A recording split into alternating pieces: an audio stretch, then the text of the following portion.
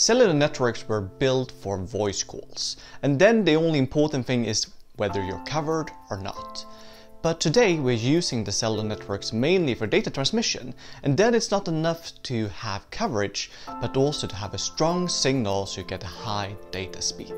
And in previous evolutions of the cellular networks, we have been focusing a lot on bringing up the peak data speeds, what you get in the best conditions. So today they are fairly high, however it is the consistency that is the problem. If the service is working part of the time and not part of the time, then it will not be good enough.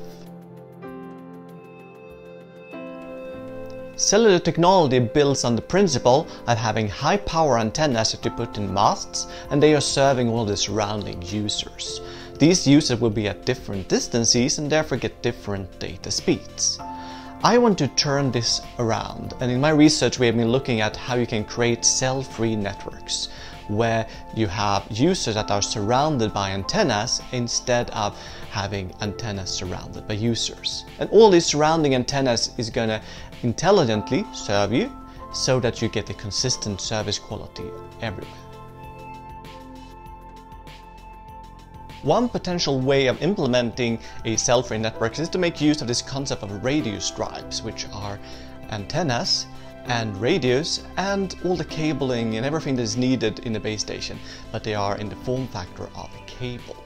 And just as people are not noticing all the cables that are on the walls around them, by covering all the world with cables like this, you can get a consistent service quality everywhere.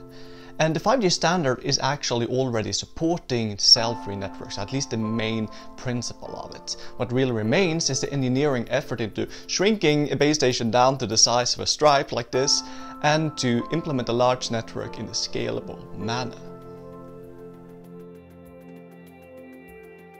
I believe that over the next few decades we will see how the virtual and the physical worlds becomes intertwined using things like augmented and virtual reality, both in our social lives and when we are working.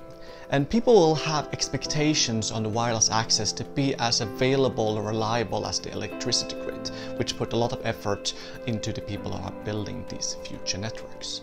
And wireless access will also become a human right, and we need to make sure that also the developing parts of the world will have very good access to it.